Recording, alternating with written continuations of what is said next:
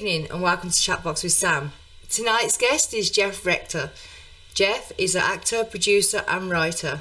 Welcome to Chatbox with Sam, Jeff. How are you? I'm doing great, Sam. Thanks for having me on. Really excited.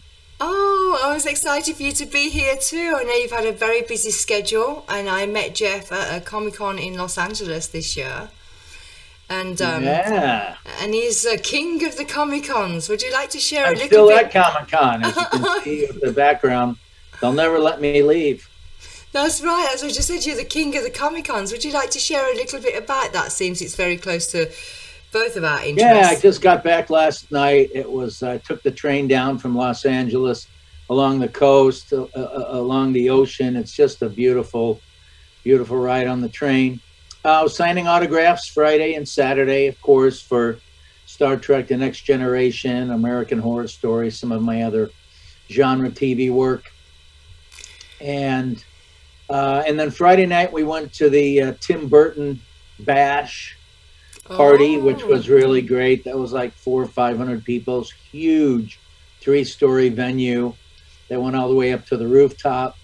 That was a lot of fun. A lot of Tim Burton characters running around. A lot of Beetlejuices, Really?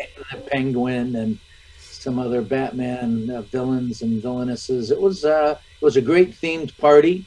They actually Yes. had some Pee Wee Herman's bicycle and his suit from uh, Pee Wee's Big Top, and a lot of actual props from some of his movies. It was really, uh, really a lot of fun. Most Oh. everybody was in costume, so it was great. I think that's one of the most amazing things, uh, the costumes at the Comic Cons, because I do the media coverage for Pensacola. Uh, are you ever going to be at Pensacola any I hope year? so. Yes. Okay. I know the I guys. So great, three days in Pensacola, way back when. did you?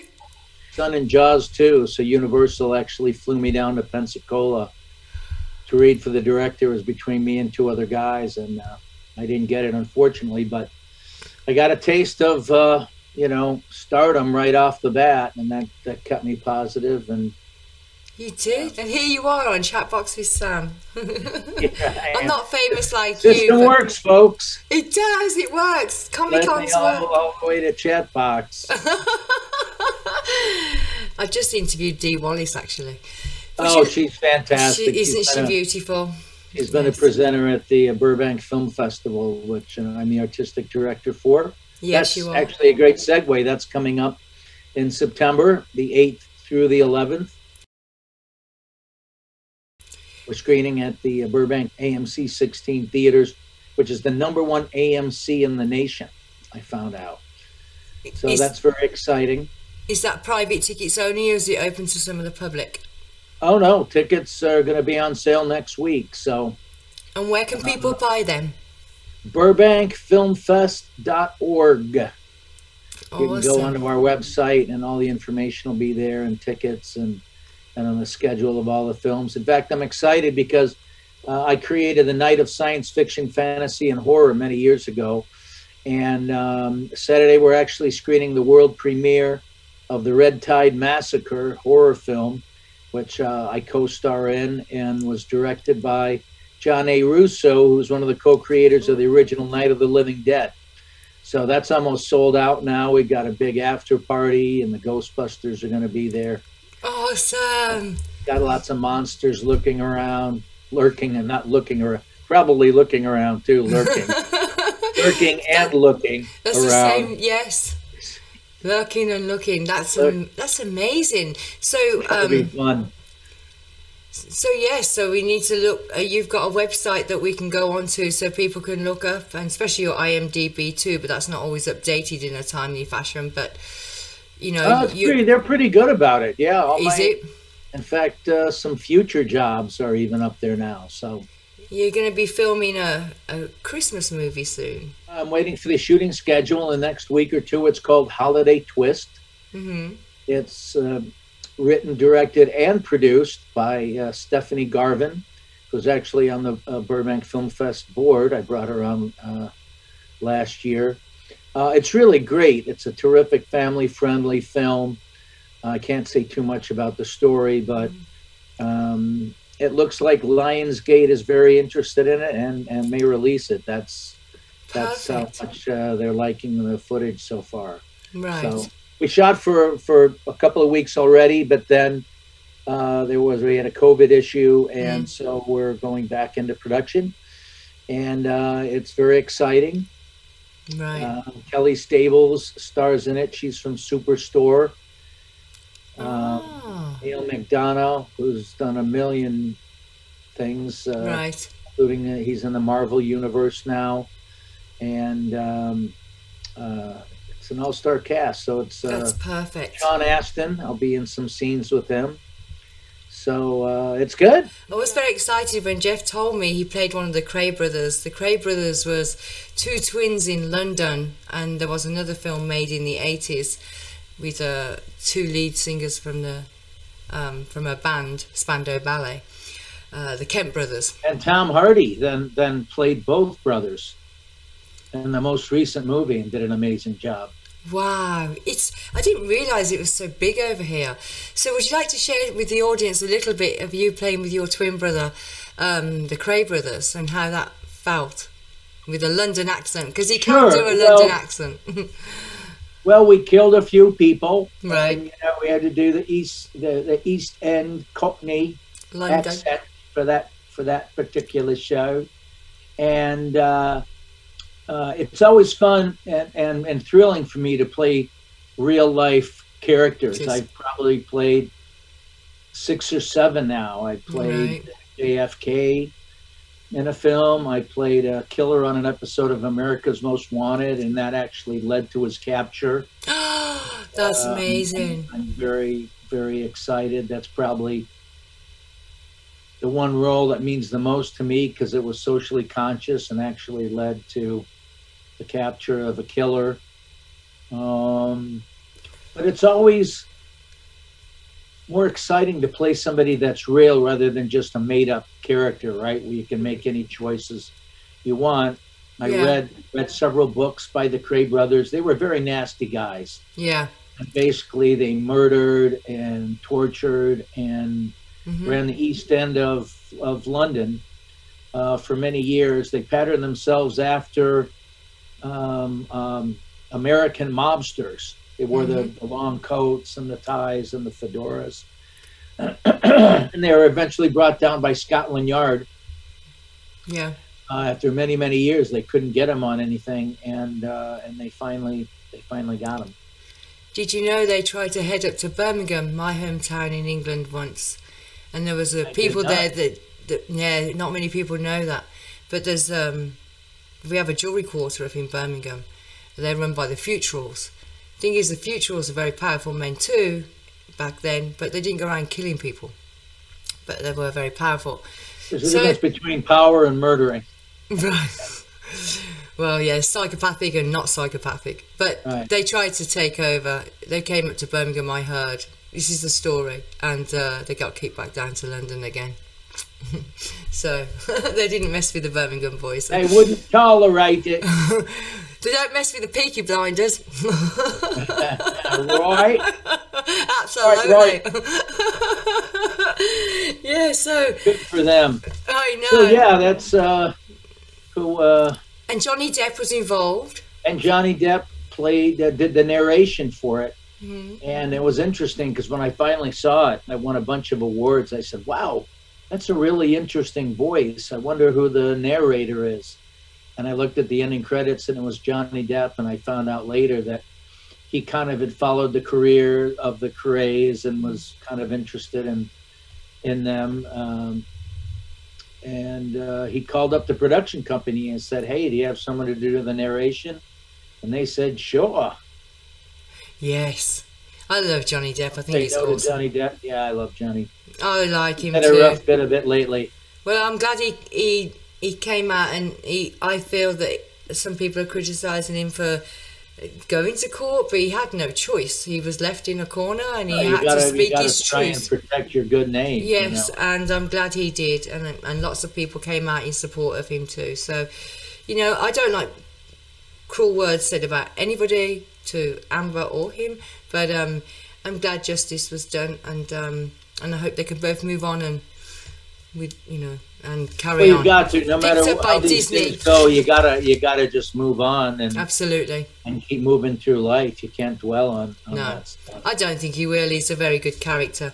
And Yeah. Jeff, you were born in St. Louis in Missouri and grew up in Michigan. And you went to Tarzana School. Uh, I grew up in, uh, was born in St. Louis, but I grew up in Bloomfield Hills, Michigan, which was a great place for a kid. In the Midwest, we water skied and swam in the lake in the summer, and when it froze, we played hockey and uh, skied in the winter and rode snowmobiles and motorcycles and played tennis and golf. I mean, it was a great, just a great place for a kid to grow up. And then uh, my father was a art director in advertising. He got offered a big job in a big uh, ad agency in LA, so he moved out here to. Tarzana and finished high school there. And what's interesting about Tarzana is um, that's where Edgar Rice Burroughs had a big ranch, and so they, you know, Tar- he created Tarzan. So they named the city Tarzana after uh, Edgar Rice Burroughs. How interesting. Yeah. And I know you wanted to give a big thank you as well to your mother Joan and your father Harlan. So that was Yes. really nice that I read that. I thought that was very heartwarming. Big shout out to my dad. I lost my mother uh, three months ago. I'm sorry. Alzheimer's. Shout out to you, mom. I love you. Aw. I'm sorry. looking down on me now. Of course. I'm very sorry about your mum. I'm sorry. Uh, She was 88. She lived a great life, and uh, as as any of us could, we'll be lucky enough to uh, to do. Well, I'm so glad I brought up your parents now. So, God blessings for your mother, and I hope your father's doing okay. He's doing great. I've actually that's a great segue into the next piece. My father and I have a couple of Christian projects together, a musical feature film, but uh, um, a project that I'm I'm excited about. I've taken over for this uh, TV series called Light, Living in God's Hands Today. It's sort of a Christian Twilight Zone Nice. series, anthology series, and I've got Kevin Sorbo to host it for me. Um, from uh, a, a series Andromeda and Hercules, of course. He's a he's a big Christian uh, director and producer and writer, and so very excited about that. We're taking some meetings, and uh, I think uh, that looks uh, looks pretty good.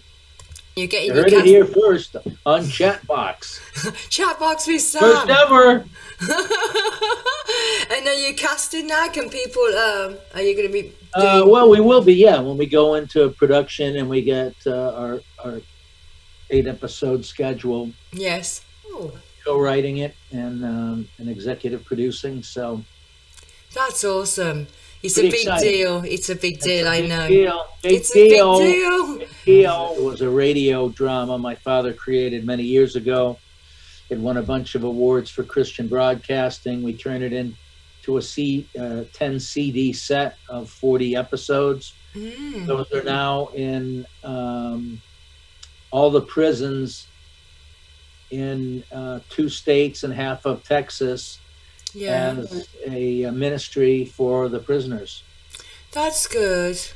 Oh, Yeah. that'll give him some peace a little bit. And now it's on. It's a we then we created it as a podcast, so you can look up uh, Light L I G H T podcast, and you can listen to any of the inspirational true stories online. And then, of course, the next stage is making it a, a live narrative uh, TV series. You were in several theatre productions when you were first going into the industry, and you learned how to write, direct, and produce and edit.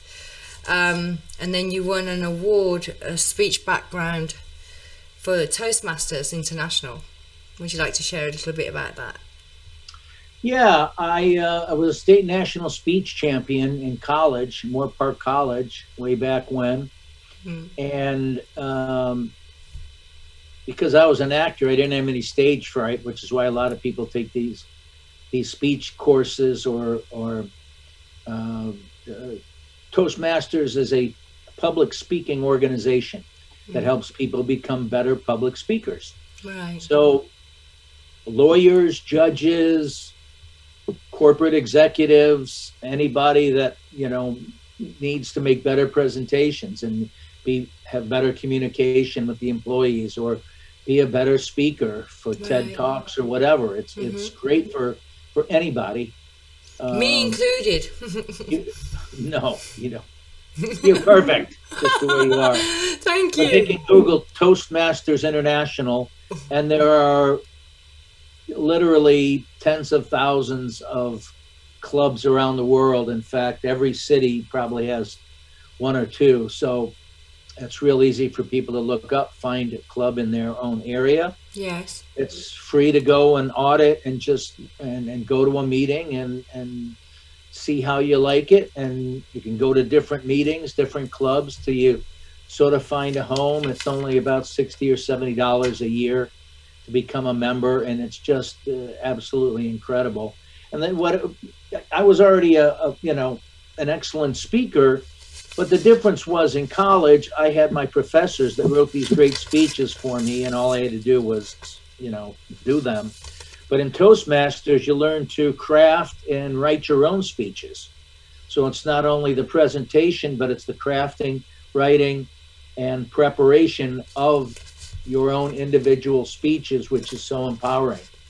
And in um, 2017, I was the District 52 champion for table topics Oh, which wow. is sort of an impromptu speech. You have you're given a topic, and then you have two minutes to make up a speech on the spot. So that's a long time, really, when you think about it. It's a lot. Two minutes is, it is a, long, time. time. People don't think it is, but when, it is. when you know when you don't know what you're gonna say, yeah, you just got to jump in. And I was very blessed to win that.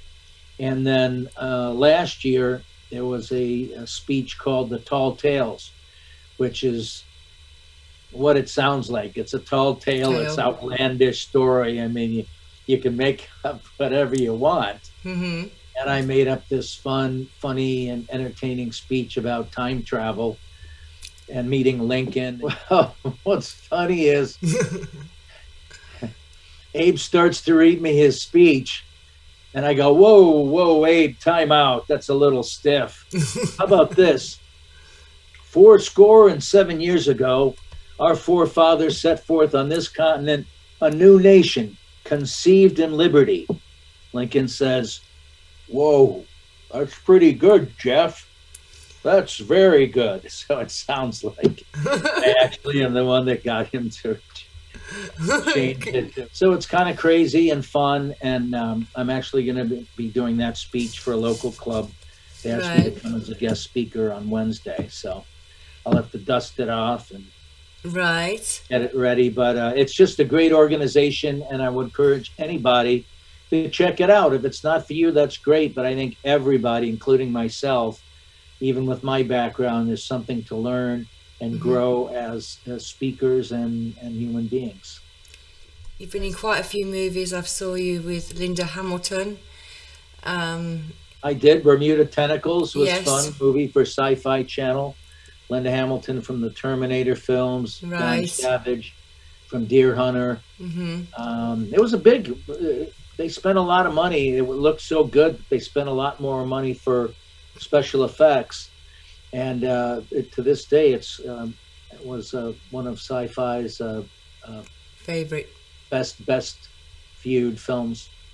And then you were in The Admired that won an award. It won a bunch of awards. Yes. Actually. Yes. Um, my friend uh, Jacqueline wrote, directed, and produced it first time writer, director, and producer. Wow. And it had a time travel element where she goes back into the 1940s. And so I played this studio head, kind of like uh, Jack Warner, and I had a little pencil mustache. And um, so it was it's fun to play in those period pieces too, where you get to play someone in it from a different time. And it did very well and won a ton of awards. And she got a uh, notification from the Milan Film Festival in Italy. Oh, wow. Letting her know that she was going to win an award. They wouldn't tell her which award it was, but they had hoped she could come because she would be uh, winning an award. And so she wasn't able to go because she'd already traveled around so much and Mm-hmm. Uh, with her husband, and uh, she wasn't able to make it. So she asked me to represent the film, and I never been to Italy, so I went to Rome, I went to Florence, and then I wound up in Milan and accepted the award. I Oh, how I went all the way to Milan to get the award to bring back in my suitcase to give it to her. Oh, but what a wonderful experience. what a great experience! Oh yeah, it was. It was. It was really amazing. I mean, that's an award right there, doing all that and then accepting an award for a film that you've played in. Because there's people don't, as I said before, people don't realise the hard work that goes into the industry. There's so much Right. hard work behind the scenes. And I was also, you played, um, in, which I thought was amazing, the feud between Joan Crawford and Bette Davis.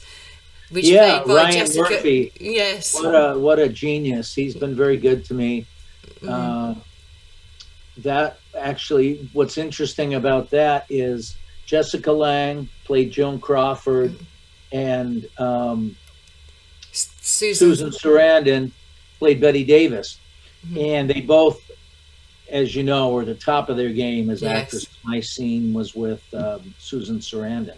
hmm I got to work with her, which was great. But they were they were you know two top women at their uh, at the peak of their careers, and in the series, and and they both were nominated for Emmy awards, as you can imagine. Right. So they were up against each other. What's interesting in the actual feud between the two, Bette Davis and Joan Crawford were up against each other for the Academy Awards. Yes. And so that was part of the, the, the big end of the feud was here they're now competing against each other for the Oscar.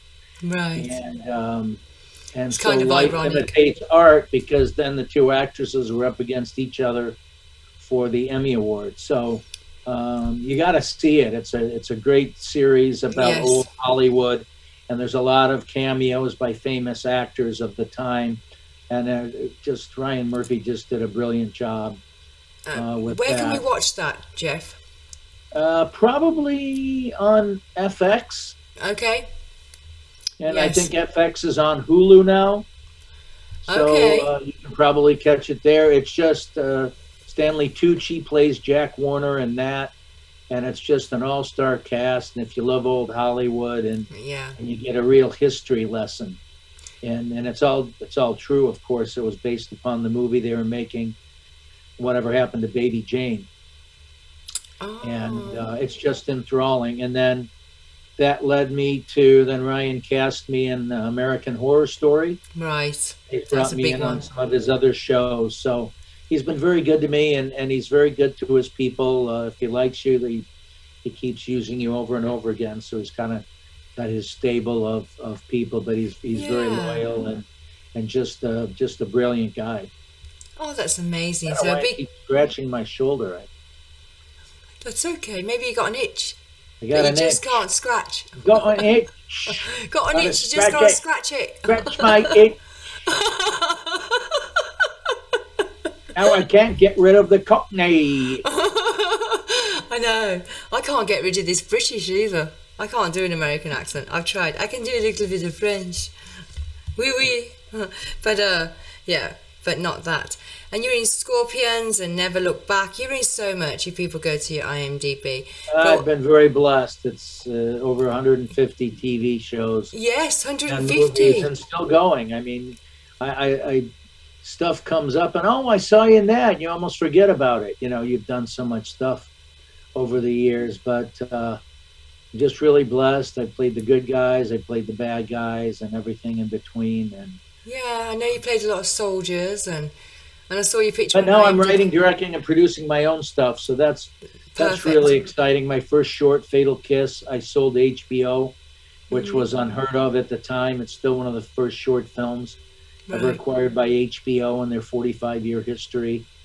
And then because of the success, it was a short film. We turned that into Revamped, which was Yes. a feature film. And you can see that on, it's still on Tubi Mhm. and uh, and some other streaming services. So that's a dark vampire comedy that I think you'll get a kick out of. Oh yes, I love Vampire. People don't recognise the shorts as much, you know, as the big film, but they should Right. because they so much work goes into them too. Everything, you know, it's just a shorter film.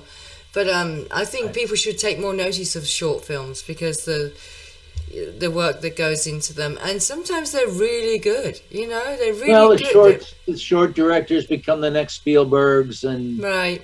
And and everybody else. You know, you got to start somewhere, and I would encourage filmmakers to start with the short. Don't put your, put all your money into a feature right off the bat because we all make mistakes and we continue to, and um, you know, start small and, and and work your way up.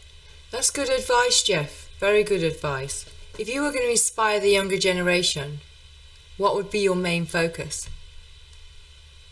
Well, my favorite saying is you can be and do anything you want in this world. Don't let anyone tell you you can't.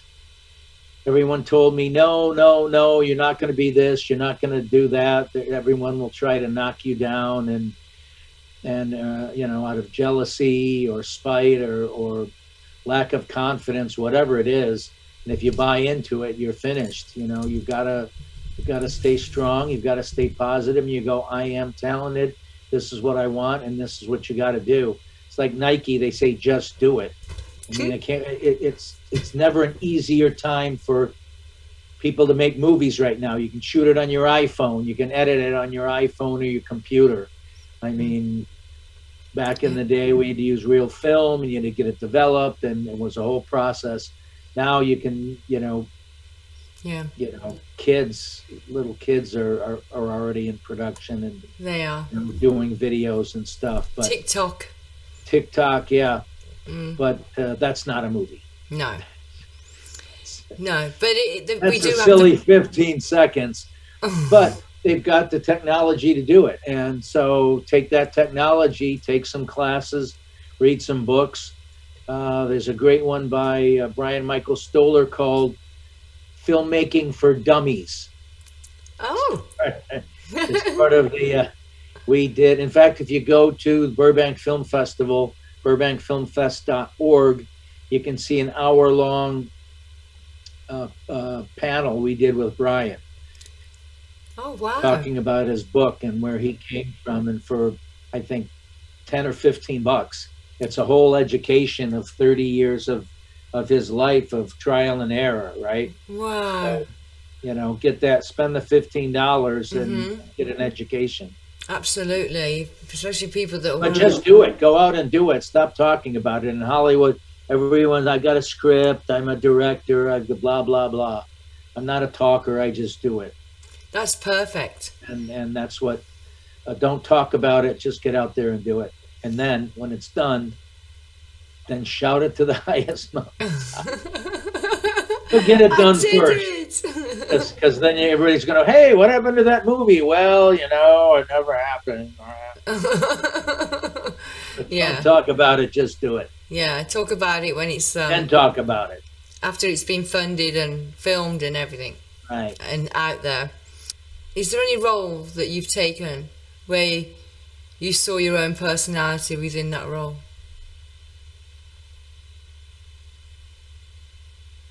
And you can't say the Kray brothers.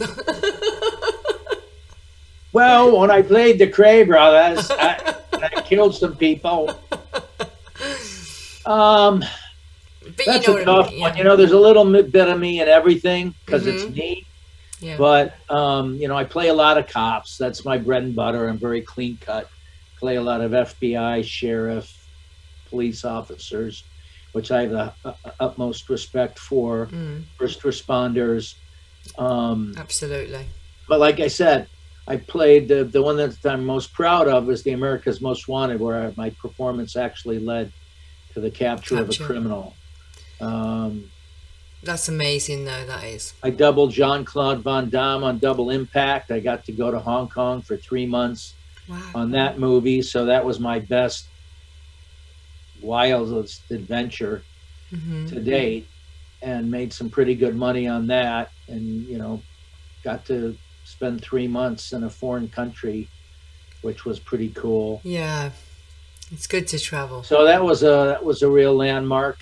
Um, play, like I said, I played JFK, John F. Kennedy. That was a thrill to play an iconic historical figure hmm like that. Um, And a lot You of know, sci-fi. things have been bad guys. You know, I, I'm uh, the bad guys are the most fun to play because it's not me, and it's Mhm. more fun to play somebody else. Right. I'd say that has the least bit of of me in there, Mhm. and you can do some wild and crazy choices because it's not you, right? Right. Completely different person, character you're creating. So that's the most fun, but um, I try to get lost in all my characters. That's good. So Because yeah, you're absorbed by them. Yeah. makes it, it try to make everything a little a little different. Otherwise, it's it's just the same thing, right? Yeah, that's perfect. and I also teach. I teach privately. Um, I taught through the University of Utah through their night uh, adult education program. hmm I actually got some of the uh, younger students that were really good agents, so they're working actors now.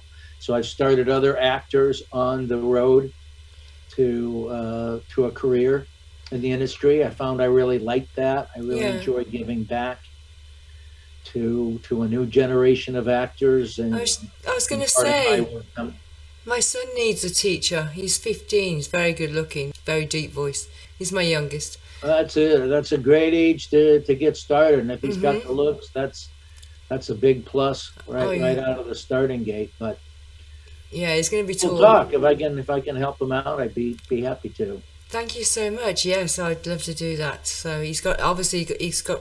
I said I'm not doing anything until he's had lessons, because there's no point until he's Right. had some lessons. Yeah. Well, I you know parents parents say, "Hey, my son says he wants daughter son wants to be an actor." You know, I don't know. Can you? So I spend a couple hours with them. I find out real quick right. where they're at and, and some are natural and some aren't you know and i'm mm-hmm. honest with them and i'll say listen they need some work not that they can't ever be good but but they're going to need some work and some they're just naturals you go they've got what it takes so Right. you just you just never know but i'm always honest because it doesn't you know there's there's there's too much bs in hollywood already and, and anybody really wants oh i want to be a star and i want to be on tv and i want to and they have no idea how much commitment and uh, work it takes and and you know they think they they, they can just it's going to happen overnight and it Yeah. doesn't it's No. uh, you know it's a lifelong career Right. and you got to be in it for the long haul Well, yeah, I always, I asked him why, and he said, I want to make people feel how I felt when I was watching the movies, like the Marvels. that's a great start. That's Yeah. I do stand up comedy too. You Do know, you? And a lot of and a lot of my films are very have very dark comedy to them. So I love making people laugh. I love, you know, I'm, I'm excited to be in a theater and watch the reaction of people watching one of my films. Some actors can't literally can't watch themselves On, on, the screen. screen. and I don't get it. I'm like, huh, what? Johnny Depp's one of them. We all have egos. They go, wow, what are you as an actor? You don't like to see yourself? What? Um, but I get a thrill. I get a thrill out That's of it. That's good. I like evoking emotions. I think most actors do, whether it's sadness, sorrow, happiness, whatever. And uh, Oh. if, you, if you don't enjoy that, I don't know why you'd want to be an actor. Right. Oh, I bore my eyes out if it's a sad movie. I, I get very absorbed and I'm like, but why did he do that? And then me and my mum were crying and then start laughing. That's when I was living in England, obviously. That was Oh, you ago, saw but the Jeff Rector story. I haven't saw that yet, but I You're will. crying, I promise. Bawling your eyes out. No, that was. I know you did the Jeff Rector. You've done quite a few shorts. I did my one man show called Who is Jeff Rector? But you did. I was going to bring and, that up. and that was that was I I, I, I swore I was going to do it. And you And did then it. COVID and COVID happened, and everybody's sitting around not knowing what to do. And I go, you know what? Now's the time to do it.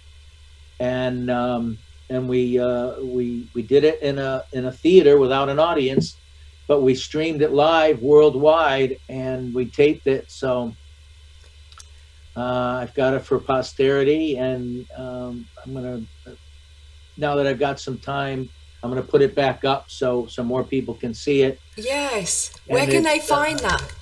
It's uh, it's not up yet. Okay. Uh, I, we streamed it for a little while when it first came out, but I'm going to get it back up onto a streaming s- site, and I'll let you know. But Okay.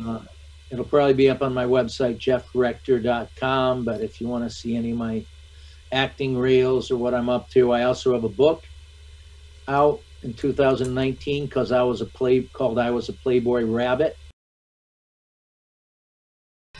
yeah. I worked for uh, Playboy Enterprises in the 80s. I was a rabbit. I was the male version of the Playboy Bunny Really? at the New York Empire Club. So I worked for Playboy Enterprises and Hugh Hefner. And, you know, we were glorified waiters, but Hmm. you're going to wait. Why not work at the Playboy Club? Right. So we were celebrities in town. It was great. Um, Yeah. uh, you know, You got good could get into any club when we weren't working. We could get into any club in the city, and we were in Playboy and People Magazine. And then when I moved back out to California, I uh, you know got invited up to the Playboy Mansion parties and, and got to know Hugh Hefner, and it was just uh, you know a, a dream come true. And most guys dream of, of that, and and I was able to enjoy that for about ten or fifteen years. Oh wow!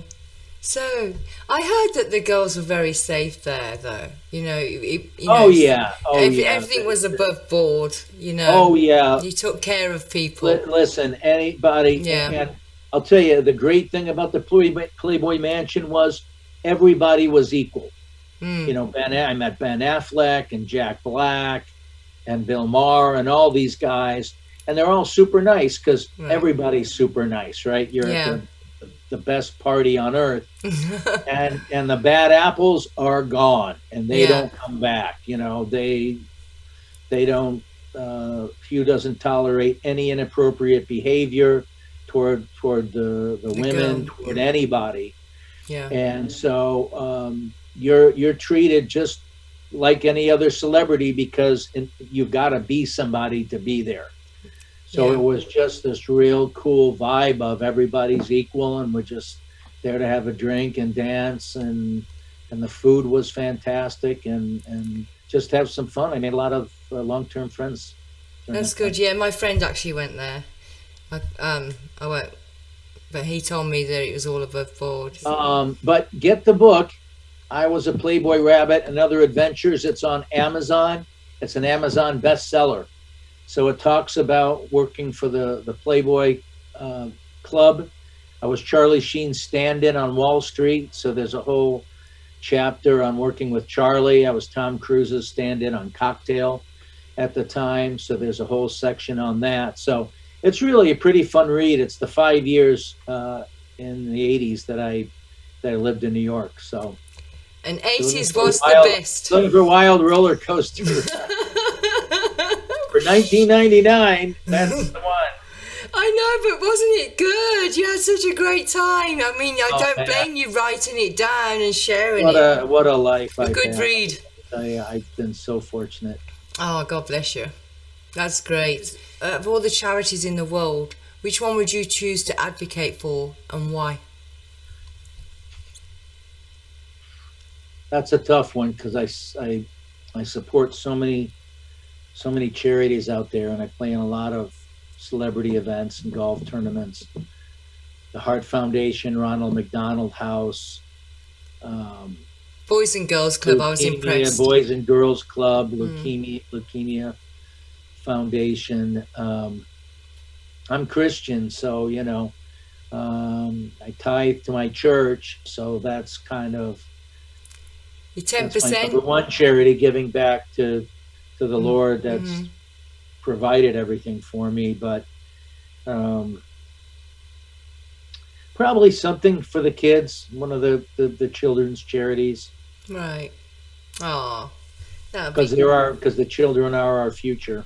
They are definitely, absolutely, one hundred percent. And and they and when they go through illnesses, they they're so, you know, they they don't complain and they just like Loma Linda's Children's Hospital and St Jude's.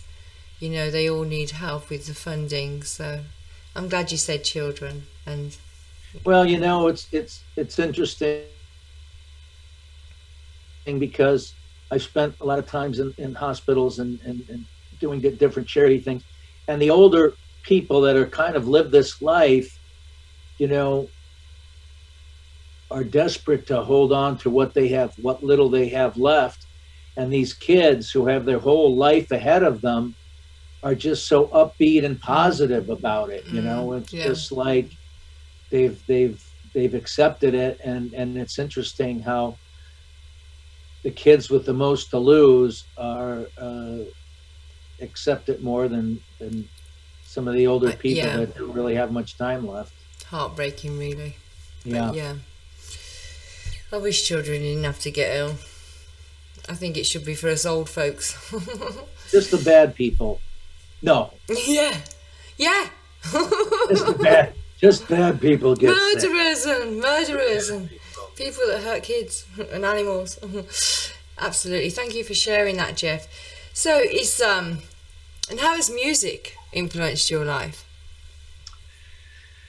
That's a great question. I don't get that asked very much. Um, uh, growing up, I, I played the guitar, I learned to play the guitar. My twin brother Jerry played the drums. Our younger brother Doug played the keyboards. So we're like a little trio for a little while. And then my, my younger brother lost interest in the keyboards. I kind of lost interest in guitar, but my brother kept playing in the drums and was in a touring band for a little while.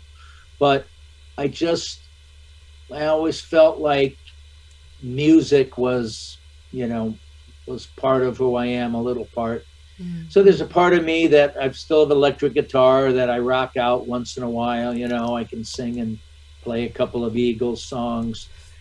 But I love, um, I love doing karaoke and I love singing. And so I've got a little karaoke set up at home. Really? Probably 20, 25 songs that there's a part of me that's a singer that I just need to, to get out once in a while. And, and I, I honest, this sounds crazy, but I honestly believe that a little piece of Jim Morrison was reincarnated, reincarnated in me because I can, I'm the same pitch and I can do Oh, really? Morrison songs. I, I got that vibe, and I just get this when I'm doing, and I just get this. I just close my eyes almost and just feel like it just comes out. I don't mm. even have to to try it. So there's a that's an amazing part of me that I have to get out. There's the stand-up comedian that I have to satisfy once in a while. The director, the writer. So you're a man with very a lot of different parts to me, and I've got to feed them all a little bit at, at, at a time, and it keeps life uh, exciting and interesting. I love karaoke. I go nearly every Thursday. What's your What's your go to karaoke song? Yeah, I don't think I'm very good at it, but I, I have a good laugh. I used to be good, but my voice broke. As long as you enjoy to... it, that's what that's why karaoke is so great. It doesn't yeah, matter whether you're I good or bad. It's just fun to get it out and have some fun, have a couple of drinks. And yeah, I, I, did musicals when I was younger in the theatre. Jo- oh. uh, Josephine's Technicolor Dreamcoat with Andrew Lloyd Webber. I met him, and so I was doing a lot of singing and playing the trumpet and the things when I was growing up. But they, my school shut the drama thing down, so that cut that off. But yeah, I, I like to play that. And uh, have you heard of Dido? Dido, the Irish singer. Yeah. I like to sing her, and um, and then one of my favorites that if I, I was going to come up with a name for a band, it wouldn't be Dido. I know, right? You, but they were successful, so what are you going to do? Dido's more successful than I am, so. She's got an amazing voice. And Zombie by the Cranberries. I like to sing that. Sure. Cranberries are great. I, I, I put my throat right into that one. I just pretend I'm growling like a Rottweiler and I sound really good. Yeah, just kidding. you know, I started doing uh, stage plays, you know, when I was younger. And of course, in school, it's always, you know, you do the school musical every year. I did mm. Brigadoon, I did Kiss Me Kate. And there's just something about those musicals that really go right to your heart, you mm. know. I love it. That that that just give you this amazing feeling. And so that's kind of what helped hook me in the very beginning was when I started doing high school musicals. Yeah. Well, I think with every, you know, Hans Zimmer, I, I listen to that a lot as well. Hans Zimmer's music. I listen He's to great all. composer. Yeah, absolutely. But without that music, I mean, it makes the movie, doesn't it? It makes the moment. And Right. memories, it holds memories. Each song holds a memory, you know. So it's very powerful. So I think it's complementary to the industry. And um, and it's complementary to a room that's silent. If you put a good music on, it can bring a room together. That's, that's Absolutely. yeah, I think so. So Jeff Rector, It really set a set a tone or a mood or a feeling absolutely. depending on the style of music. Yes, indeed. So, is there anything that no one has asked you in an interview that you would have liked them to ask you? What's my favorite color? No, I'd say black. black. I like to wear black. Black's a Hollywood color, you know. It's it's upscale. Um, question.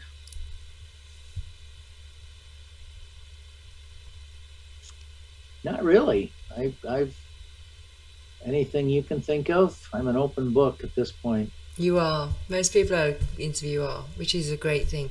So, if this was the last time you were ever going to talk to an audience, or what would you say? It was the last time you could ever say anything. To, to the last thing that you could ever My, say. my final my final confession. hmm I've lived a great and amazing life. I've seen and done more than a hundred people twice my age. I've traveled the world. I've worked with incredible people. Um,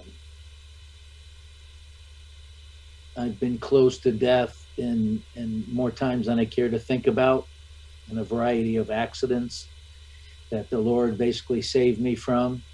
And every time that happens, you just appreciate life. And uh, and every time I, I go to a friend's funeral, it makes me appreciate what I have. That I'm healthy. I'm not in a wheelchair. That I'm active. I'm still working. Um, if I were to go tomorrow, I would say I've lived a fantastic life. I have no regrets. We all make mistakes in life, and we all do things we we wish we hadn't. But it's all part of growing and living and being human. And I am just incredibly blessed for what I have, the life that I've lived, and God willing, uh, a long life in the future. Do what you love, love what you do, get out there and do it, stop talking about it. Make your life happen for yourself. Don't listen to anybody. Don't listen to the naysayers. Don't listen to any of the negativity. Be who you are. Be who you want to be. Don't let anybody tell you to be somebody that you're not or you don't want to be. And just create a life for yourself. I did. So I know you can too. And uh, Aw. live long and prosper. God bless you Amen. all. Amen to that. What a beautiful speech. Amen. Whoa, you did Amen, that. sister. Woo! Amen, Jeff. Thank you, Lord.